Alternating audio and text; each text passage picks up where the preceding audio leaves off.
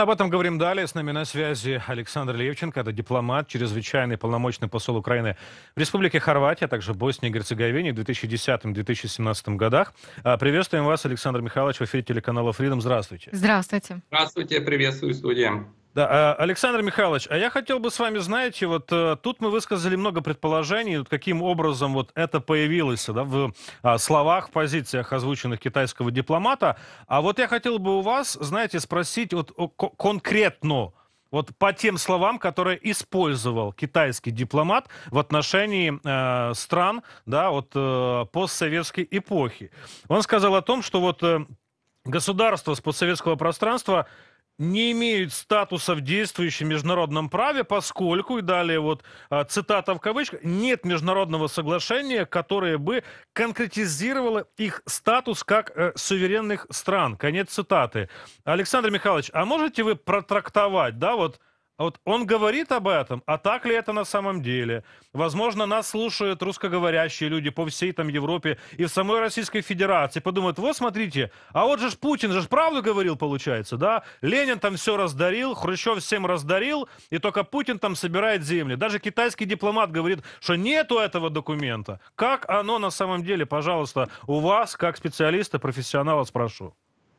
Ну, про Путина скажу, его дедушка был поваром у окружения Ленина. Поэтому то, что он так критикует Ленина, ну, извините, его он поэтому и оказался в Питере, потому что дедушка прислуживал э, высшему партийному руководству партии большевиков.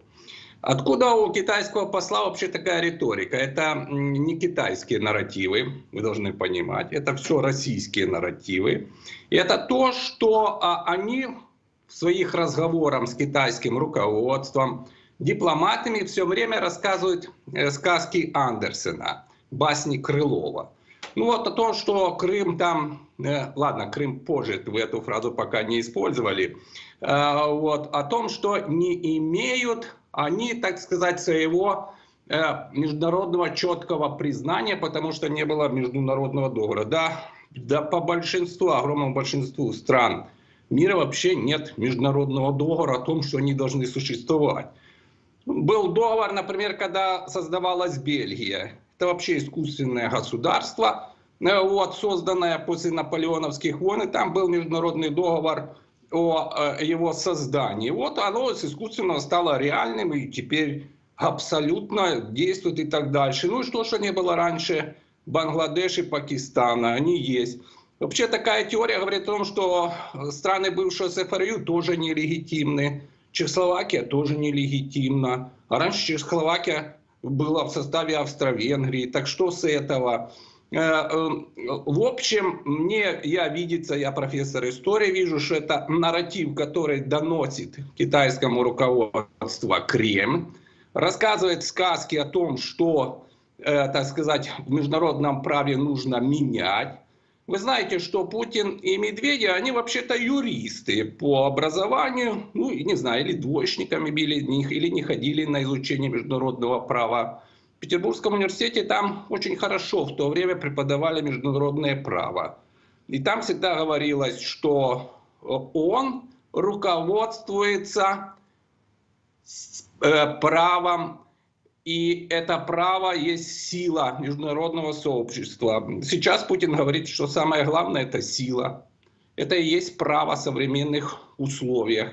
Очевидно, что э, вот это э, конкретное определение относительно бывших э, республик советских говорит о том, что Кремль готовился все 15, э, 14 республик да, оккупировать. Ему надо было объяснение, как эту оккупацию как-то сделать. Хоть какое-то объяснение.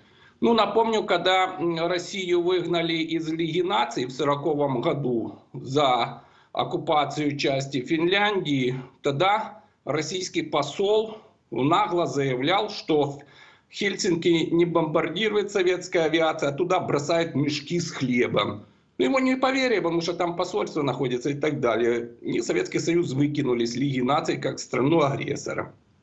Поэтому это попытка реанимировать что-то. Очевидно, благословление Пекина в этом, скорее всего, было. или это полное непонимание истории китайским послом, который решил что-то показать, знания международного права, истории, а в которой не имеет никакого понятия. Потому что по ему, у него там еще одно интересное выражение по Крыму, что Крым раньше был типа а российским, так э, я как профессор истории хочу напомнить, что за 3200 лет истории Крыма, когда мы четко знаем, кто и как, где проживал на полуострове, российским он был всего лишь 165 лет. 165. Ну, скажем, под Киевом был 200 лет. Во время Кмутараканского княжества, когда, которое контролировало Крым, 100, 140 э, лет и 60 лет с 54 года. Под скифами вообще 800 лет и так дальше. То есть это полное непонимание истории, полное игнорирование международного права, или он тоже был двоечником, как Путин и Медведев. И вот сейчас такие э, перлы выдал китайский посол, и Китай, естественно, стал открещиваться, потому что все просто ну, удивлены, как можно такое вообще выносить на общественное обсуждение студия. И вот а, как раз о реакциях глава европейской дипломатии Жозеп Борель признал, что Пекин дистанцировался от замечаний, сделанных его послом во Франции, а также заявил, что Китай и Европа должны, цитирую, работать вместе, выступая на пресс-конференции в Люксембурге. Борель заявил, что ЕС готовится к обновлению и перекалибровке стратегии в отношении Китая. Давайте услышим. There are areas Никакие проблемы больше не могут быть решены без Китая. Климат, управление долгами, глобальное здравоохранение. Но мы также просим Китай действовать в соответствии с международными правилами и нормами, полностью, а не выборочно. Когда дело доходит до оправдания России войны против Украины, Китай, как постоянный член Совета Безопасности Организации Объединенных Наций, несет ответственность за защиту устава организации. Пекин дистанцировался от неприемлемого замечания своего посла в Париже. Во вчерашнем твите говорилось, что это заявление не было официальной позицией Китая. Теперь у нас есть конкретный ответ, и это хорошая новость. Но тут стоит еще добавить, что перед этим он говорил, что ЕС может только предполагать, что эти замечания не отражают официальной политики Китая. То есть все-таки подозрение о том, что а, действительно дипломат сказал не просто э, свои мысли, а также думают в официальном Пекине. А, как вы считаете, это действительно была оговорка или так действительно там думают? Вот, просто об этом не говорили вслух, а тут так случилось. Ну, вы знаете, некоторые вещи тестируются на более низком уровне. Послы имеют определенную самостоятельность в том, куда выходить, что говорить и так дальше. Ну, ну с Китаем, где все подконтрольно государству, СМИ, государственный аппарат и так далее. Посол сам выходит, высказывает свою точку зрения. Понятно, что на 99% скорее всего нет. Если это да, его должны сейчас снять с должности по китайским правилам. Сейчас посмотрим, день-два. Снимут его с должности, значит его э, хоть как-то можно объяснить, что это его самостоятельная точка зрения. Останется он послом в Париже, ну, все понятно, так сказать. Он имитировал идеи и тест, который, который не прошел. Сейчас такое не проходит вообще, потому что это совершенно противоречит э, системе международных отношений. Э, вот. Ну как? Ну, о чем вы говорите? Что вы придумываете? То, что было раньше. Ну, так раньше, я же говорил, Владивосток был китайским, 170 лет назад все от Байкала до Тихого океана, это миллионы квадратных километров РФ, э, было китайским. Москва в прошлом была маленький городок, а Литва была в 20 раз больше, чем э, Московское княжество. Историю нужно знать. Но в межгосударственных отношениях, как и вообще внутри государственной политики, руководствуется Конституцией и законами а не каким-то историческим правом. Так и в международном праве. Да, важно знать, что было, как было и так дальше, но есть международные конвенции, есть устав ООН, есть э, действующее международное право и такие вещи, которые уничтожают существующий международный порядок, неприпустимо, чтобы кто-то предлагал, что фактически приведет к тому, что после Второй мировой войны, когда был создан современный миропорядок и современное международное право с целью избежать Третьей войны, вот такие заявления ведут к Третьей мировой войне. Студия. Угу. Александр Михайлович, ну а вы думаете, что ставки вот именно так высоки? Ну, я, я объясню почему, да, потому что, ну, у меня, знаете, возникает не то чтобы дежавю, а, ну, это уже где-то было. Да, вот встретился Си с Путиным, они поговорили, да, вот вышло там совместное э, коммюнике пресс-релиз там, да, вот в Китае, в России, да, они друг друга перепечатали, и вот сошлось во многом. Россия поддерживает историю там Китая, видение или позиция Китая там из 12 пунктов, где отображается э, приверженность Китайской Народной Республики, суверенитету там любых стран, и нужно из этого исходить, да, из, из этой главной позиции. Потом появляется заявление о том, что вот не все так однозначно. Потом Потом заявление от Пекина про то, что, ну, ребята, какая вообще Китай нейтральная история, мы выходим из прагматичных каких-то решений.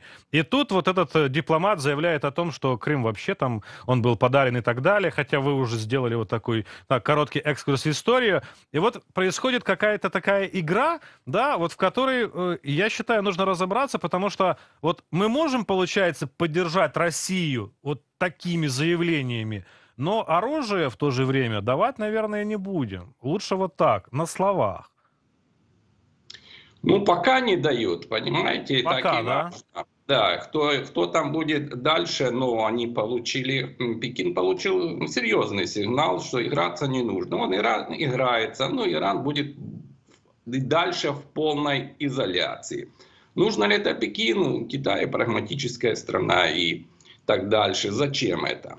А, вот. А еще раз подчеркиваю, озвученный нарратив э, не совсем китайский, похож на российский. Ну, первый по Крыму это 100%, второй по этим странам, опять же, он же вспомнил только э, республики бывшего СССР, он не вспомнил бывший СФРЮ или страны бывшие колонии. Они же тогда тоже не имеют субъектности. Колонии стали независимые государства. Это это десятки, а может больше сотни стран, э, которые были в составе Британской, Французской империи, э, э, Испании, Португалии. И, и что дальше? К чему это все? Понятно, что Россия хочет какой-то новый порядок, основанный на том, что она ядерная страна, там, и она там будет всем диктовать так сказать, диктовать силу права. Все говорят, да нет, должно быть право силы, а не сила права. Э, э, и, и наоборот, вернее. Так что, ну, а исторические пассажи, ну, это чисто э, тоже кремлевский нарратив. Путин постоянно выбегает с ними, не имеет в этом понятия. Ну, помните одно только выражение, что россияне победят COVID – как Половцев и Печенегов. Ну, все историки за голову взялись. Можете себе представить, вообще-то Печенегов уничтожили те же половцы, а половцев уничтожили монголо-татары. Ну и, соответственно, естественно, что э, Москва так и не победила COVID потому что историческое сравнение Путина, ну, какая-то полная пустота. Или он там э, высказывался перед школьниками, что Россия, когда победила Швецию в Семилетней войне, а школьники его поправляют. Так, господин президент, это же не Семилетняя война, это Северная война, это же совершенно разные вещи. То была Семилетняя с Пруссией война, а это со Швецией. То есть не знает простых вещей, заявляет о едином народе украинцев и россиян, что вообще антропологически и исторически тоже несопоставимо. Но ну, вот эти сказки, они постоянно всем рассказывают, доносят на любом уровне. В их кто-то начинает верить. Ну, очевидно, что китайский посол где-то и лично поверил в то, что ему рассказывают коллеги и, и нарративы, которые сформировал Пекин после того, как туда постоянно ходит э, российский посол, как туда э, ходят э, Э, российские делегации на встрече и рассказывают вот такие исторические басни и правовые выдумки. Ну, э, это все уже не проходит. Китай, я считаю, понес э, большие имиджевые потери от такого тестирования на инициативу Москвы. Большие имиджевые потери. Но вместе с тем увидим, как будет развиваться э, событие дальше. И действительно, э, роль Китая теперь в том, как выруливать ситуацию в ряде международных регионов и ситуаций там напряженности. Теперь вот все смотрят на Пекин с определенной подозрительностью. Вот такой результат нескольких э, фраз, оброненных послом Китая в Париже на французском телевидении «Студия». И тут как раз о реакциях и о напоминании истории. Эстония, Латвия и Литва э, решили напомнить послам и поверенным э, Китая, что эти страны не постсоветские, а страны когда-то незаконно оккупированные Советским Союзом. Вот тут еще интересный момент, а услышат ли об этом в Китае, и э, эта информация запомнится ли этому послу, который так э, неполиткорректно, скажем так, э, высказался.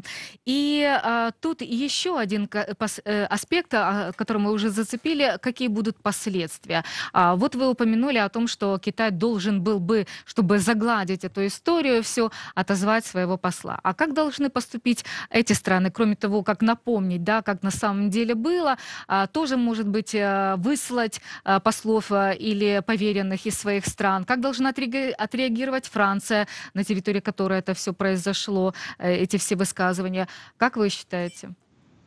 Ну, демарши были МИДа и Эстонии, и Латвии, и Литвы. Э, заявление э, главы фактически европейского МИДа Бареля э, это абсолютно достаточно этого. Рвать какие-то все дипломатические отношения, это абсолютно нет к этому оснований. Это тест китайский. Ну, вот такой вот. Они решились на это, ну, получили реакцию. Очень важно, что она была острой. Эм, жаль, конечно, что республики из бывших э, Средней Азии и Кавказа молчат, потому что их это тоже напрямую касается. Очевидно, аппетиты у Кремля есть, и что, да, и, э, что касается и их территории.